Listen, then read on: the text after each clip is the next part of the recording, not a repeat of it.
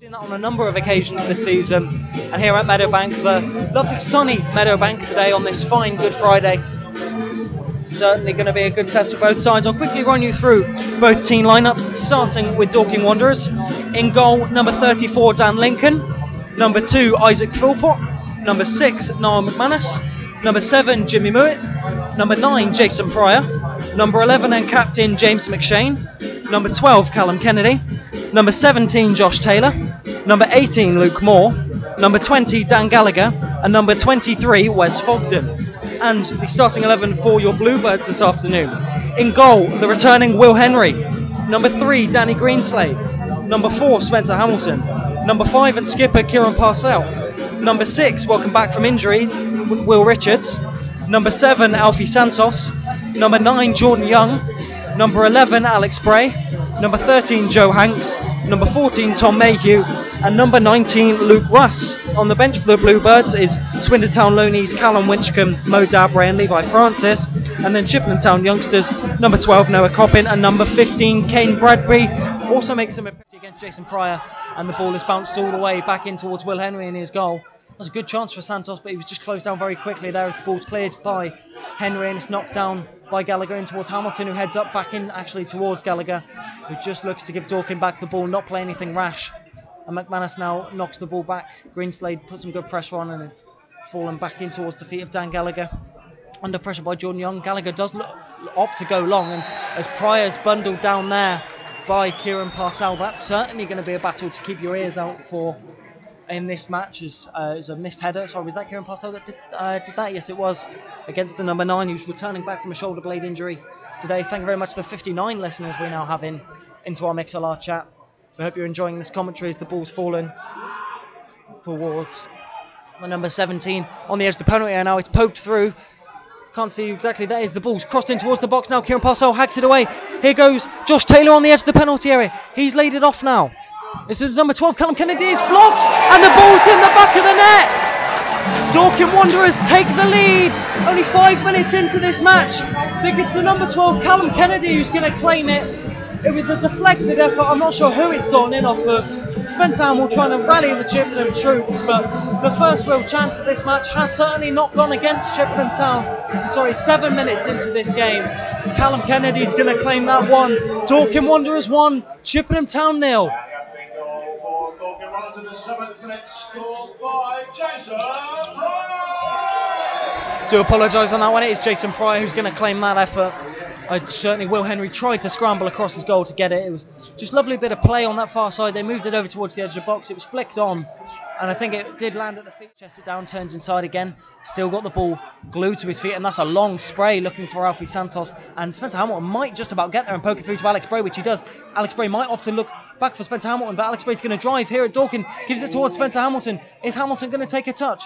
What's he doing with it? He's just going to play with it. Here's Luke Russ ops the ball into the box now, but it's cleared away. And the number 23, Wes Fogden, can hack it clear. Will Richards knocks it down, looking towards Luke Russ, who's challenged. And Joe Hanks flicks it back towards Luke Russ, who's played the ball. Looking towards Jordan Young. Is Jordan Young on side? Yes, he is. And he's just about kept the ball in play. On that far side, he's by the byline. Spencer Hamilton's in space now. He dinks the ball across the box, but it's only falls to a Dorking player. As Chippenham can't just get into those opportunities. As Prior wins the flick on only as far as Greenslade. And Mayhew now flicks it on towards Santos, who takes a nice touch and is beating his man already. Here's Joe Hanks, Chippenham looking lively now. Look, what a great way to respond towards the goal. And Alex Bray's got it on this right hand side now. Joe Hanks is in the box if he can find him. Alex Bray making a trademark Alex Bray run and plays the ball across the box, but it's deflected by the number 12, Callum Kennedy. And Chippenham Town will have the first corner in this match. I've just received a note through. Most of the Chippenham defenders have made the play towards the box. The ball's in towards the far post it's cleared away brilliantly there by Dan Lincoln before it could get on towards the head of Kieran Parselle, which really worked by the actual cricket player. And Tom Mayhew's got it on the edge of the box now. He's challenged and managed to win the ball back, and it's fallen towards Joe Hanks, who's going to have a shot. Deflected, however, by Jimmy Moy. And here's Spencer Hamilton, played it towards Jordan Young, who's in an advanced opportunity. But he just lashes at the effort, was aiming towards the near post of Dan Lincoln's goal, but he just got it wrong and sliced it wide of Dan Lincoln's goal. That's perhaps Chippenham's best shot of the match so far, and it's fallen at the feet of Magic Man so far this season. Jordan Young, who's put it wide, he's certainly be getting a lot more of those chances in this match. But that's perhaps the second biggest chance of the game for Dorking Wanderers. They were very unlucky to not take the lead, but it was just by Will Henry's goal as he was left stranded in no man's land. As Will Richards now plays this ball forward, looking towards the corner, and Luke Russ, and Luke Russ is flagged to be offside, even though he does manage to keep the ball in on that far side. The linesman on this near side flags the Chippenham number 19 offside.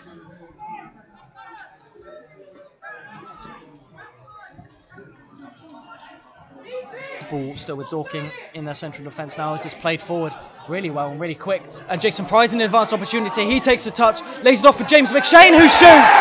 And James McShane who puts the ball in the back of the net. Disorganisation in the back again for Chippenham Town. Perhaps Jason Prior got a bit lucky with his footwork and it fell to the Dorking number 11 who with no hesitation buried the ball in towards the back of Will Henry's net. And just before the 20 minute mark in this game, Dorking Wanderers have a two goal lead here at Meadowbank.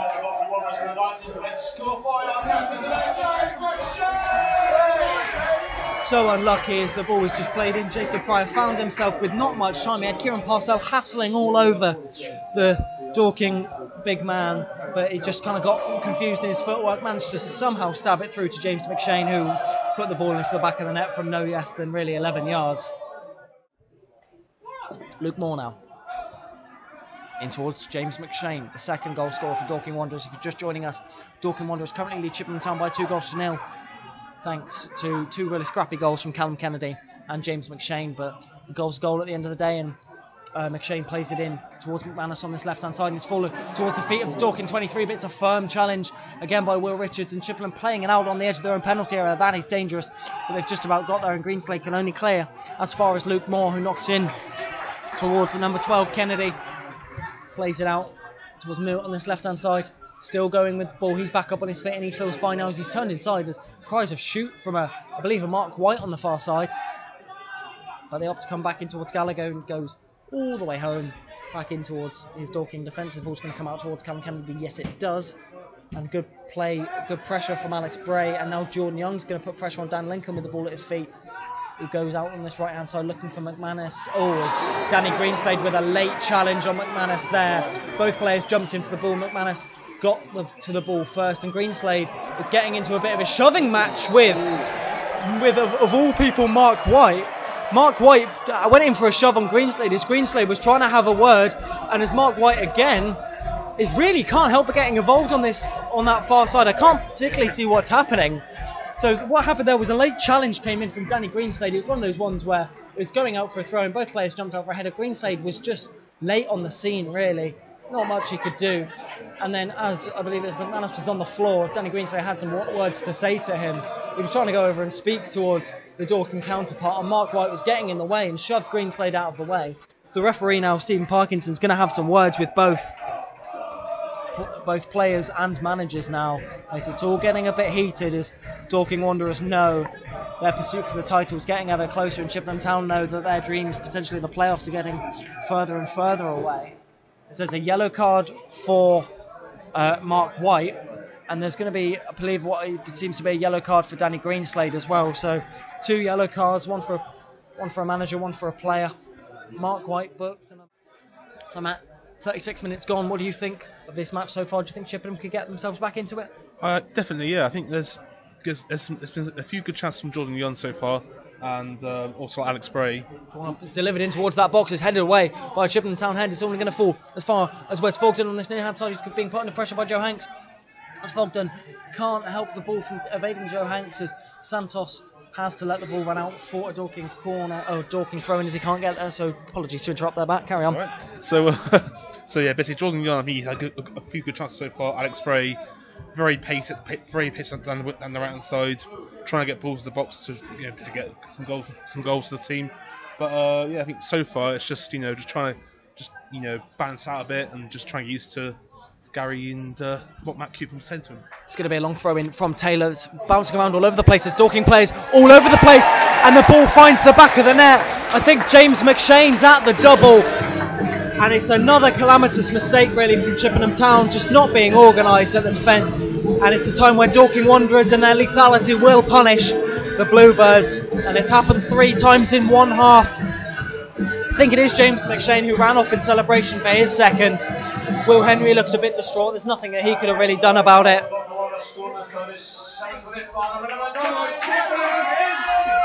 It is James McShane who's been accredited over the PA system here. And it's now Dorking Wanderers 3, Chippenham Town nil. Simon Lawrence makes his way from the back of the Chippenham Town goal over towards this near side to speak towards a couple of the Chippenham spectators. And Dorking Wanderers absolutely jubilant as they know their title dreams can only ever. James McShane, now plays the number 23, Wes Fogden in quickly. And Dorking have won the ball back and got themselves going forward very quickly. Here's the left winger, who I believe is Nicky Wheeler. Plays the ball in towards the box. He's hacked away though by Luke Russ. And it falls to number 12, Callum Kennedy on this left hand side, who wins himself the throw in. He's going to take it himself. Callum Kennedy, who I believe has not been accredited the first goal. So Callum Kennedy, uh, Jason Prior's stolen that one off of him. Uh, and then it's, uh, uh, what I said earlier. James McShane does have the two. He has the second and the third, from what I believe. Throw in taken quickly by Dorking, and the two 11s challenge on that near side. And Alex Bray does get the best of his number 11 counterpart, James McShane. And Alex Bray looks down the line for Jordan Young, who's going to get there and challenge. And Jordan Young wins it. He's one on one with Luke Moore. Jordan Young's going to drive here at Dan Lincoln. Is he going to have the shot? But it's shanked from Jordan Young. It was really trademark Jordan Young to drift in and out of the defender. He got the right side of Luke Moore, the experienced Luke Moore, got the right side of him, but was just too far out to think about an effort and shanked it over the bar. That's the biggest attempt from either side in this second half. And really, if Chippenham, I think, wanted a point from this game, they needed to see that, that hit the back of the net as Dorking voices on the right hand side continue to grow as they know a 3 0 win is probably, or 3 goal win, or certainly 3 goals are certainly secured. As Jason Prior loses out on a header to Kieran Parselle and Luke Russ can only knock it as far as Wes Fogden. And Muitt on this right hand side is going to look to drive at Danny Greenslade. Two players both on yellow cards. They not want to commit to anything. Fogden plays it back in towards Gallagher, who plays a long ball on this left hand side now, out towards the number 12 of Kennedy. And he plays it quickly in towards Wheeler, the second Dorking substitution. And Moore is going to probably go all the way home, but he's given that away, Luke Moore, only as far as Jordan Young. And Joe Hanks is one on one here. Joe Hanks making room on goal and finds the wide. Big, big chance for Chippenham Town. It was Luke Moore originally who played the ball almost across his own half. Jordan Young did so well to intercept, had to find the run of Joe Hanks quickly, and he did. Joe Hanks was under all sorts of pressure from both sides of the defenders, and he just had to almost hit that left footed from the edge of the penalty area. And it was so close to going in the back of the net. That is the biggest chance of this second half now, and it's fallen to Chippenham Town and Joe Hanks, but the ball goes wide. Dorking Wanderers 3, Chippenham Town nil. Off the pitch. And Kieran Parselle thinks it should also be a penalty. I couldn't see it too well due to some obstructions here, but it seemed to be that Gallagher's the one that slid in and did win the ball. Took Alex Bray out as well, but did win the ball cleanly. So no penalty drama so far this week, unlike we did at Maidstone last week. Or against Maidstone as Dan Lincoln's taking his time with this goal kick. It's a, it's a wasp in the commentary area, buzzing around. Dan Lincoln's taking his time with this. He eventually clears the ball, looking towards the head of Jason Pro, flicks it on. And it's nearly onto the head of James McShane. And uh, uh, here comes a player, and that's a clear penalty, surely, as the player goes down. The referee does not give it. It's fallen to Jimmy Muitt now. Well blocked and well saved. As Luke Moore's running over towards the referee, Dorking feel like they should have had a penalty kick. I, th- I think you'd be a bit harsh to agree. Well, it's not a penalty kick? I'm not sure whether the referee played advantage. It seemed to be Kieran Parselle was late to a challenge and wiped out a Dorking player, and, and he's not given a penalty kick, as referee Stephen Parkinson. Dorking 3 0 up, but still feel aggrieved, and I think certainly James McShane wants a chance to take his penalty for a hat trick. It's uh, some choice words from the um, Dorking fans behind the goal as they've not been given a penalty. They have been given a corner, however. I'm not sure who that is down to take it. Maybe Callum Kennedy. It's in there. Ball going to be delivered left footed in towards that penalty area. Will Henry holds and might be able to give Alfie Santos a run on this left hand side as he plays long, looking towards Jordan Young, who's nearly going to get there. Jordan Young is almost in behind for Chippenham Town. He's got the ball just right down in that corner now, but he let it run out for a corner. And in one swift motion, Chippenham have gone from nearly conceding down one end. And Jordan Young takes his corner quickly. It's headed down towards that far post. And Joe Hanks couldn't quite get a severe enough connection on it and it's on out for a goal kick. It was corner taken quickly there by Jordan Young as he saw Joe Hanks get there. There's 1,610 of pack. Taylor taking his time with this throw in. Still not taking it. Taylor launches it now, not long, opts for a short one. Taylor gets it back at his feet. Is the number 11 McShane, who's obviously on a hat trick. McShane puts it on his left. There's Rodari, but he's intercepted well by Hamilton. Chippenham are streaming forward in their droves right now. Hamilton looking for Jordan Young on this left hand side. He plays Mayhew really well. Mayhew still going. He looks for Jordan Young on the area. Jordan Young left footed strike! Just wide, just tipped wide, crucially by Dan Lincoln. I was right down the barrel of that effort. Jordan Young had it on his left foot. He was on the left side of the area, just tried to go for almost a dipping effort into that top corner. It wasn't quite struck cleanly, but Dan Lincoln gets a crucial touch on it to turn it wide. Jordan Young's going to have this corner on the far side. And it is going to be an in swinger. It's not going to be a quick one like we saw moments ago from him. Jordan Young, two arms in the air this time. He's going to deliver it in. Ball in towards that far post as well. Richards nearly touches it down, and it's cleared there by a Dorking player using the feet as Rodario can't quite get there. Alfie Santos turns really well with it. Oh, he sent his man there brilliantly. Here's Dan Griffiths inside. Dan uh, Greenslade, sorry, not Dan Griffiths. Here's Alfie Santos knocks it in towards Spencer Hamilton now. And Chippenham still have the ball on this right hand side. It's turned inside now. It's Alex Jordan Young, rather, fires it, and it's not spilled there by Dan Lincoln. Of course, trademark Jordan Young gets there. And Dark will get there. Alfie Santos has picked the ball up for Chippenham Town really well as he looks to drift past Gallagher. Jordan Young still in there for Chippenham Town. Left footed, blocked again. It's bouncing around all over the place. Hanks has to slash at it. And Chippenham can't get it away. Mayhew on the edge of the area. Saved by Dan Lincoln. Dan Lincoln, the man of the moment for Dorking Wanderers at the moment. He's had to make three or four successive saves. Dorking could not get their lines cleared. Jordan Young with an effort, Joe Hanks with an effort, Alfie Santos with an effort. And that most recent one was from the number 14, Tom Mayhew. In this match, it's just a few calamitous errors in the first half that have let Chippenham down today. And also a special mention to the number of fans that have made the trip today. We really, or from all of us at the club, we really appreciate your support. And we especially appreciate the support of every single one of you that have tuned into the, towards the chat as well as Dan Lincoln takes this goal kick in what will surely be as we count down in towards, I believe, the final minute of this match. So 3 0 if you're just joining us. Sure, not sure why you'd just be joining us for the final moments, but if you are, it's 3 0 to Dorking Wanderers. All goals in the first half as Danny Greenslade gets there again and turns inside, look for Noah Coppin. Tom Mayhew drives past his man, and there goes the final whistle here at Meadowbank. Full time here as we tick over in towards the 94th minute. It's finished Dorking Wanderers 3, Chippenham Town nil. Tale of really a game that was finished with after the opening 30 minutes. It was goals from, I believe, Jay, what have been accredited to Jason Prior and two from James, uh, James McShane that have been given. And Jordan Young there looks a bit disappointed with himself. Joe Hanks is leading his Chippenham contingent to go and support the Chippenham fans behind the goal who have made the long journey to Surrey today. Certainly not been a good Friday from a Chippenham point of view, but they'll take as much as they can towards the game against Oxford on Monday.